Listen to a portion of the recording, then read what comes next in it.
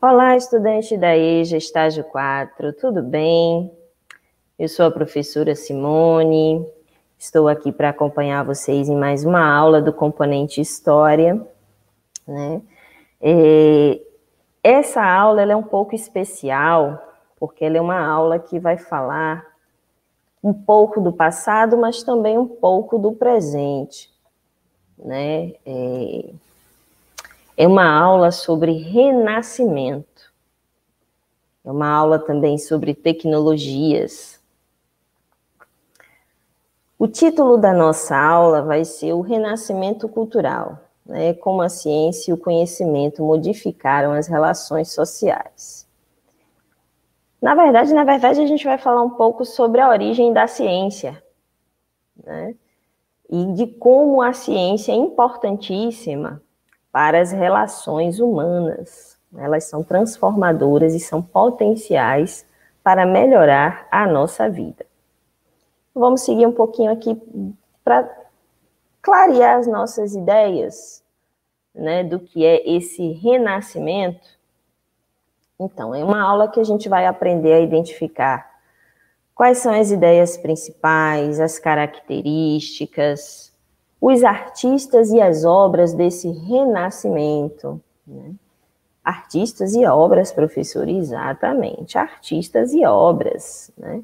É um movimento que, apesar de científico, ele também, ele é, na verdade, não é nem também, né? ele começa no mundo das artes. Né? E daí fazer essa relação com vocês. Influenciou muito na literatura, na política, né, mudou a nossa forma de pensar e agir o mundo, né, principalmente a partir do momento que os outros povos tiveram contato com os povos europeus. E aí a gente vai falar um pouco né, do que foi possível fazer nessa época da história. Vou começar aqui com essas perguntinhas e mostrando para vocês essa imagem desse livro que está aqui, ó, O Código da Vinci. Né? Foi um livro polêmico na época que ele foi lançado. O filme também, por conta da discussão que fazia, né? fala um pouco da origem aí do cristianismo, né? das relações entre a questão da religião e a produção do conhecimento, mas, sobretudo, fala desse artista aqui, ó, o Leonardo da Vinci, que surgiu nessa época, na época do Renascimento Cultural, né, dos séculos XV, ou melhor, dos séculos XIV ao século XVI, que é o que a gente vai aprender nessa aula. E aí, algumas perguntinhas para você. Você já assistiu a esse filme ou leu esse livro, O Código da Vinci? E essa palavra renascimento, você já ouviu falar dela? Imagina o que é que isso significa, né? Quando você ouve a palavra renascimento, né? Renascimento. O que será que está falando? Né?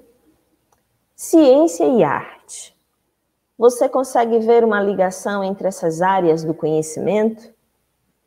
Acredite, elas têm tudo a ver. Vamos voltar um pouco na história para responder essas perguntas? Vamos seguir aqui. Primeiro eu quero que vocês observem essas duas pinturas. Aqui, ó, à sua esquerda do vídeo, essa imagem, ela está pintada numa igreja chamada Capela Sistina, no Vaticano, lá onde o Papa vive, certo? O nome dessa pintura é A Criação de Adão. Ela foi feita por Michelangelo. Então, aqui mostra o momento que Deus criou o primeiro homem, Adão, né, de acordo com a tradição religiosa aí do cristianismo. Então, é um, um, o artista Michelangelo representando como teria sido esse momento. E aqui, à sua direita do vídeo, uma imagem chamada Homem Vitruviano. Né?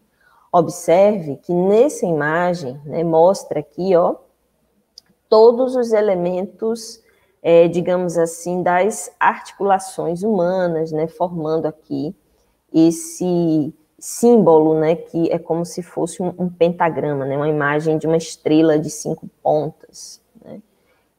Essa pintura foi feita por Leonardo da Vinci, Né? E aqui ele procurava formas perfeitas, né? matematicamente perfeitas de representar um corpo humano. Então, observe, o Leonardo da Vinci era um inventor, mas que utilizava da pintura para tentar aí fazer, digamos assim, essa escultura humana perfeita. Né? Observe aqui também, ó, nas características dos detalhes, né, dos miudinhos das pintu da, da pintura do Michelangelo. Também é um corpo humano de formas perfeitas. Mas vamos parar para pensar aqui, né? Por que, que essa coisa tão impactante, com essa perfeição física do corpo humano? Observe que isso está relacionado à ideia aí, ó, de renascer, de renascimento. Vamos ler o texto aqui e descobrir o que é que significa renascimento? Vamos lá. Ó.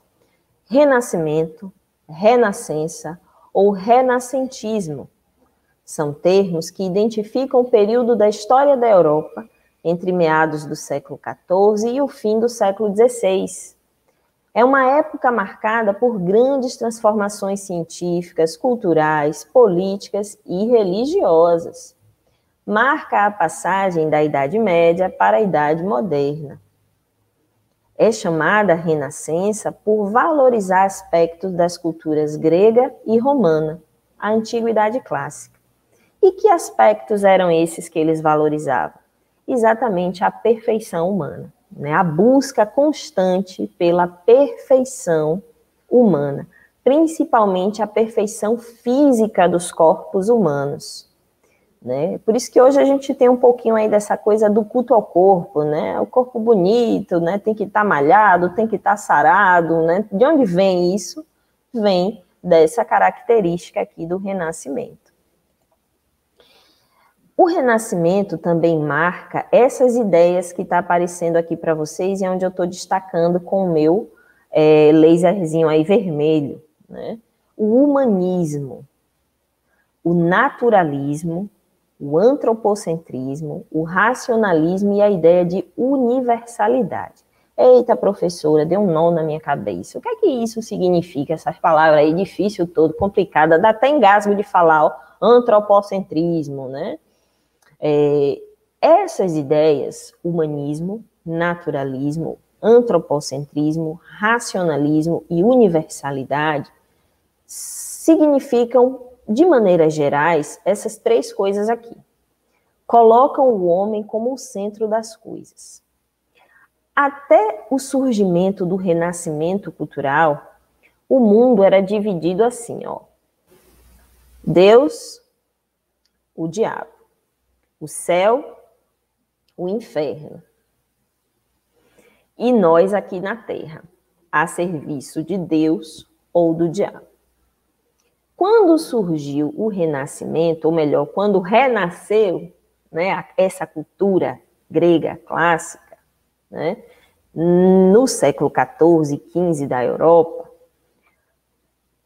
essa relação já não era mais tão assim. Né? Porque e eu, homem, e eu, ser humano, aonde fico no meio disso tudo, né? E a ideia lá do livre-arbítrio, tá onde? E aí passa a ter o homem como o centro das coisas, né? desses questionamentos, né? da origem, da vida, do universo, né? A Terra é redonda, a terra, é quadrada, a Terra é plana, eram discussões que passaram a existir por que, que a maçã cai? É um fenômeno físico-químico, né? É, ou é um fenômeno natural? Ou é um fenômeno divino, né? O fato da maçã despencar, é, da macieira, né? Então, assim, eram questões que a humanidade se fazia. Por isso, a partir do século XIV e do renascimento cultural, uma das primeiras discussões que foi feita foi essa relação né, entre antropocentrismo, né, o homem é o centro de todas as coisas, e o teocentrismo, Deus é o centro de todas as coisas. Observe, gente, que essas ideias até hoje existem e elas convivem juntas. porque o tempo todo nós estamos nos questionando sobre essas origens, não é isso? Então aqui não era diferente. Agora aqui, é vamos dizer assim, é o surgimento desses questionamentos, principalmente na Europa. Um outro ponto dessas características é que, assim, ó, a partir desse momento da história, os fenômenos da natureza passaram a ser explicados a partir de causas inteligíveis e não religiosas, ou seja, pela lógica. Se uma maçã caiu da macieira, qual foi o motivo? Não é mais apenas a questão da vontade divina.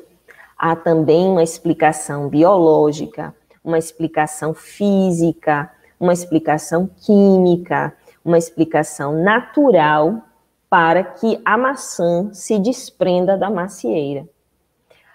A partir desse momento na história, as pessoas passaram a investigar a parte biológica do funcionamento da humanidade, a parte física, né, dos fenômenos da natureza. Foi algo que passou a interessar a o humano e isso foi interferir em todas as relações da vida da pessoa. Vou fazer uma explicação com algo do hoje. Porque se sabe que ao lavar as mãos evita aí 60% do contágio da Covid. Ao lavar as mãos com água e sabão e usar máscara e álcool em gel, evita-se 90% do contágio exatamente pela explicação lógica, inteligível de responder aos problemas da humanidade, né? ou seja, a tal da ciência. Né? Para isso que a ciência serve, dar respostas inteligíveis, ou seja, respostas racionais. Por isso que eu chamei a atenção da explicação lógica das coisas, que começou aí com o advento do renascimento cultural.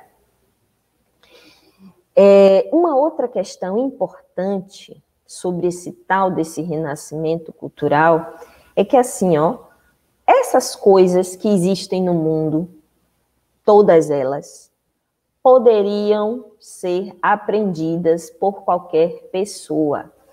Os renascentistas acreditavam que as pessoas poderiam aprender e saber tudo o que se conhecia, ou seja, o conhecimento passou a ser acessível. Até essa época da história, o conhecimento não era de acesso a todos. Nem todo mundo podia abrir a Bíblia, por exemplo, e ler. Sabiam disso? Primeiro, porque não sabia. Não era todo mundo que podia aprender a ler e escrever.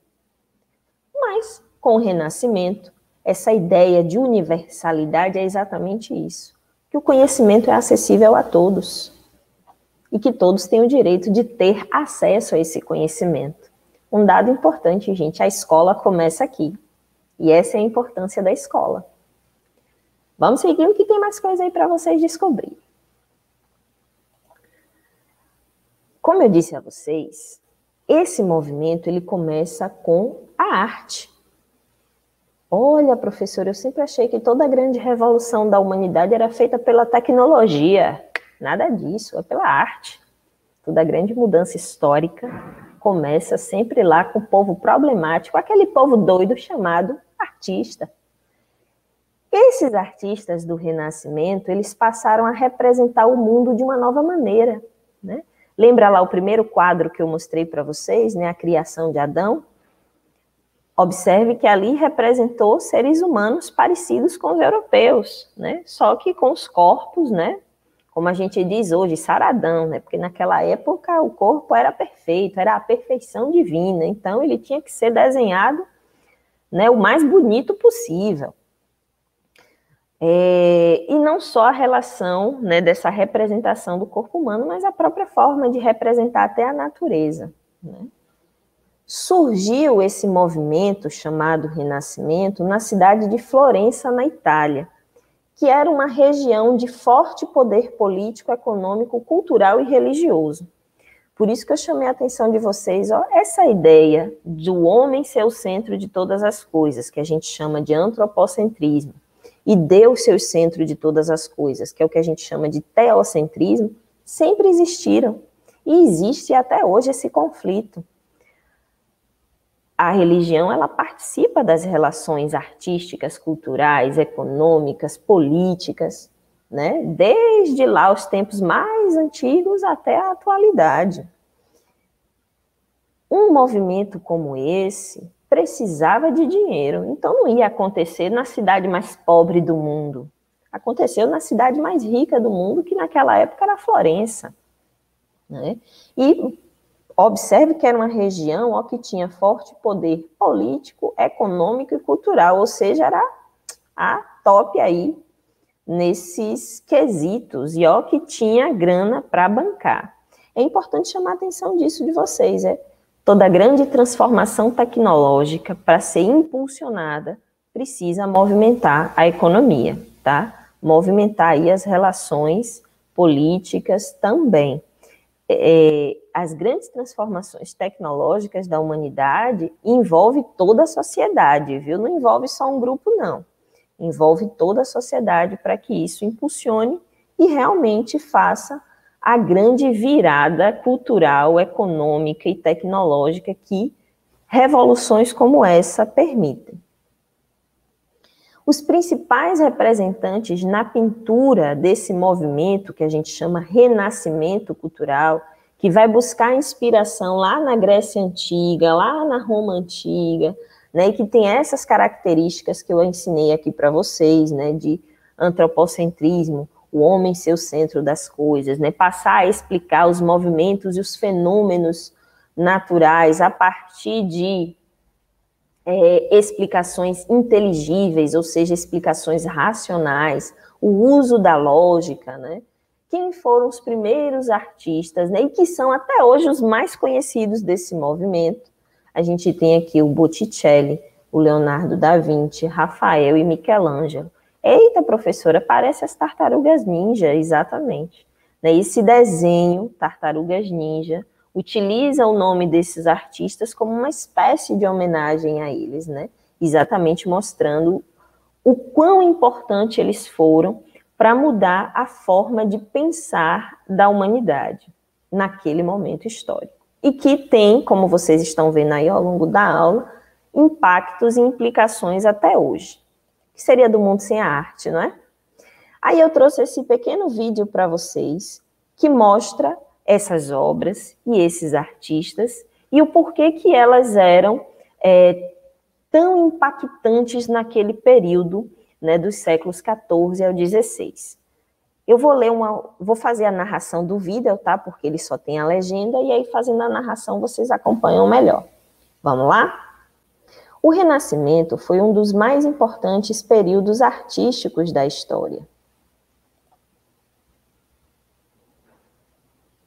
Também chamado Renascença ou Renascimento, durou cerca de 300 anos. O movimento começou por volta do século XIV na Itália e marcou a revalorização das referências da antiguidade clássica, especialmente da cultura grega e romana. O Renascimento trouxe para a arte o interesse pelo humano e pela razão, em contraposição às ideias medievais marcadas pela religiosidade e pelo misticismo. O mundo ganhava uma concepção antropocêntrica, o homem no centro. Mesmo assim, diversos elementos religiosos foram mantidos. Então aí dá para vocês uma noçãozinha né, e um gostinho do que foi esse renascimento. E aí a gente vai ver as dez obras mais importantes. O Homem Vitruviano, do Leonardo da Vinci, né, que é o desenho que comprova esse interesse né, pela figura humana que é criado em 1490 e buscando as formas harmônicas, perfeitas, né, do corpo humano. A Escola de Atenas, que é de Rafael Sanzio, né, que é um afresco tido como essa obra dessa personificação, né, dessas ideias que reúne todo esse conhecimento. Né. Imagina aí os filósofos gregos, principalmente Platão e Aristóteles, né, de onde vinha esse conhecimento todo. O teto da Capela Sistina de Michelangelo, né, que são os, os afrescos que eles faziam, contando passagens do Velho Testamento. A pintura A Criação de Adão né, mostra essa tentativa de conciliar a razão e a fé. A Mona Lisa, do Leonardo da Vinci, né, que é o quadro mais famoso até hoje que retrata essa história. Né, foi uma pintura encomendada pelo marido dela, né, e que mostra o poder da burguesia, né, que era uma classe social que patrocinava esses artistas. O Nascimento da Vênus, de Botticelli, que retrata a deusa romana do amor, né, que promoveu essa revolução. O Botticelli foi o primeiro a pintar elementos misturando o mito fora do cristianismo. A Última Ceia do Leonardo da Vinci, que mostra a última refeição aí de Jesus com seus doze apóstolos, né? A pintura chama a atenção porque usa técnicas de sombra, de tridimensional. Né? A Pietà de Michelangelo, que é uma escultura que retrata o luto de uma mãe, né, ao ver seu filho morto no colo. Né, alguns dizem que essa é a representação de Maria durante a morte de Jesus na cruz. O Davi de Michelangelo, né, que mostra aí uma escultura de mais de 5 metros, representando o momento em que Davi derrubou o gigante Golias. Essa peça também é inspirada na figura de Hércules na mitologia grega. A Assunção da Virgem é uma outra obra né, que mostra o momento que Maria teria sido levada aos céus pelos querubins. Né, é um dos mais importantes movimentos aí dos artistas dessa escola em Veneza, na Itália. O Beijo de Judas, né, que a obra mostra a tensão entre o momento em que Judas trairia Jesus né, considerado aí pelos especialistas um gênio do Renascimento, né, e que foi pintando outras obras, né, e durante muito século a influência desse movimento foi sentido na arte, na cultura e na ciência, e modificou isso para sempre, né, a forma como nós, seres humanos, nos relacionamos com o mundo. Então, observe aí, é o que há toda uma discussão do homem da humanidade ser o centro das coisas, mas observe que dialogando com aquela religiosidade que existia naquele período, né? O conflito aí né, entre razão e religião é presente e impacta até os dias atuais. Vamos seguindo aqui na nossa aula. Na literatura e na política, um dos maiores influenciadores desse movimento chama-se Nicolau Maquiavel. Né? Vocês já devem ter ouvido a expressão assim, aquela moça, aquele rapaz, são maquiavélicos. Né? De onde vem essa expressão? Né? Como se maquiavélico fosse uma coisa assim, até mal. Mas não, na verdade, maquiavélico significa que é uma pessoa que, ó, atina, para para pensar, para raciocinar, né? Antes de agir, ó, não faz as coisas pelo impulso, né? Faz as coisas com lógica, com racionalidade, né? É daí que vem a expressão, né, maquiavélico. Então, Nicolau Maquiavel, é esse rapazinho aqui, ó, representado nessa pintura, ele era um escritor certo? Ele trabalhava para uma família em Florença chamada família Médici, que era a família mais influente da cidade. E Maquiavel, ele era um filósofo também que escrevia sobre política, né? O livro dele mais famoso, eu trouxe aqui uma representação do que seria a capa original, né? É o livro O Príncipe. Nesse livro, Maquiavel escreve como a família de Médici deveria governar a cidade de Florença. Né? E aí ele tem uma passagem do livro que diz assim, ó, o bom governante tem a destreza de uma raposa e a força de um leão. Ou seja, a astúcia, o tino, a inteligência de uma raposa, né, que a raposa para aprisionar a sua presa, ela não sai correndo atrás, que na doida não, e ataca a presa, não ela para, ela observa o ambiente, né, até dominar e conquistar a sua presa. Então era aí essa era uma metáfora, né, que Maquiavel dizia, olha, o governante ele precisa ser inteligente e perspicaz. A tal da racionalidade o governante precisa ter. E a força de um leão é porque em determinados momentos é preciso agir com essa força né, para o bem governar, para a arte do bem governar. E aí Maquiavel escreveu essas recomendações à família de Médici nesse livro, O Príncipe, né, que está aqui, né, uma representação, né, uma fonte histórica original de como era a capa desse livro. Hoje você encontra esses livros, gente, até em banca de jornal. Né? Na época aqui não, era uma coisa feita para os nobres, para os reis, para os políticos, né? Mas hoje, até na banca do jornal, você encontra aí o Príncipe de Maquiavel. Né? E é um livro facinho de ler, gente, pequenininho assim, um livrinho de bolso. E ele dá recomendações importantes de como exercer uma boa liderança. Né? Até porque, quando ele fala como um bom governante deve agir, ele está falando exatamente disso, de como ser um líder. Então, o principal destaque aí para a literatura renascentista vai para o Nicolau Maquiavel, que é o fundador do pensamento político moderno. Acredite, muitos dos nossos governantes têm esse livrinho aí de cabeceira, certo? Fica a dica. Vamos seguindo aqui, ó. Nessa época do Renascimento, tem algumas curiosidades. E aí eu trouxe umas imagens para explicar para vocês. Por que, que mudou a forma da gente pensar e agir? Até essas discussões, né, quem é o centro, Deus ou o homem, havia um pensamento de que o mundo era o universo, né, era geocêntrico.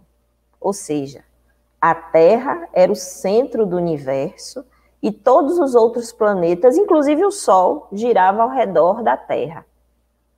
Normalmente a gente brinca assim na rua, tá pensando que é o Sol, é fulano, né? Que eu giro em torno de você. Porque isso está nessa explicação aqui, ó, do heliocentrismo, que é a representação do Sol como o centro do universo. Um dos mais importantes estudiosos desse período foram Nicolau Copérnico e Galileu Galilei. Eles trazem uma explicação nova. Acreditava-se que a Terra era plana, gente, era um plano, sabe?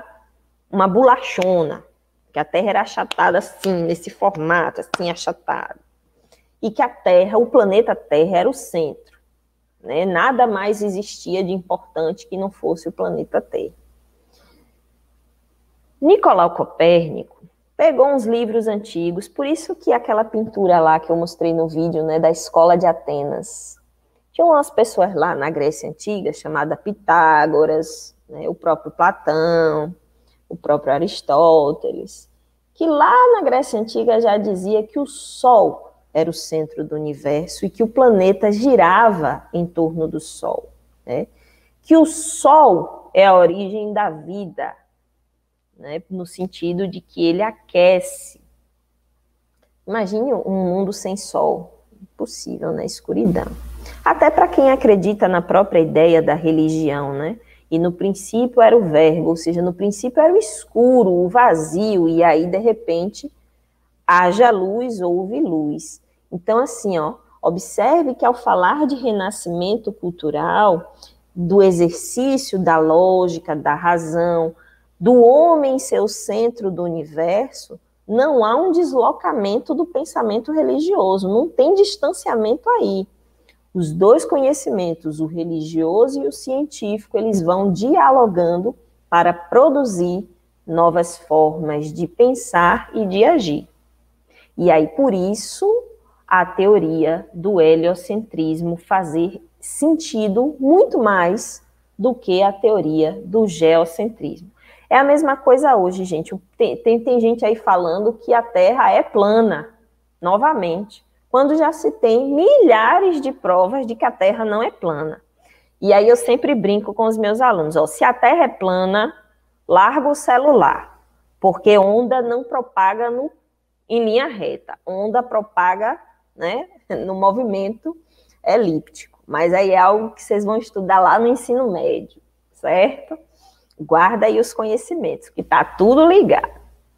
Não teria como existir essa tecnologia de eu estar tá aqui falando com vocês pela internet, pela televisão, se a Terra fosse plana. Isso só é possível pelo formato esférico do planeta Terra.